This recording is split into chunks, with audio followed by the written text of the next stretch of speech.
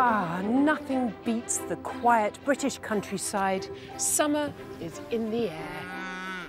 This is the life for me.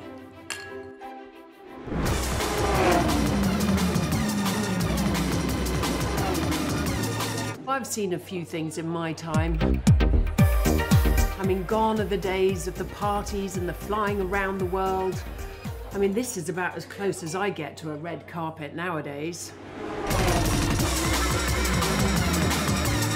So I've heard from the locals that women's sport is really taking off this time of year. I mean, there's Wimbledon, there's the Women's Euros.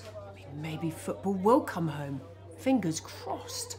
W Series kicked off in Miami. What a show that was. I did a bit of racing in my time. Hmm.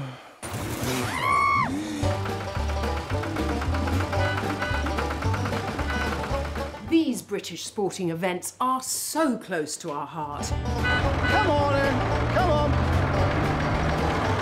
Country Lane's not a racetrack. And actually, one of them is not far from my pub. Alice Powell wins at Silverstone. And if you don't have front row seats, you're always welcome here. Drinks are on me.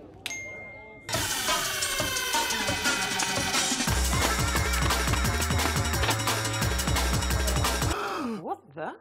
Excuse me, I'm a little bit lost. There's no sat nav in that thing. Silverstone, any ideas? Yeah, Silverstone's in that direction. Don't I know from somewhere? But don't forget there's a speed limit in the village. Where's Alice?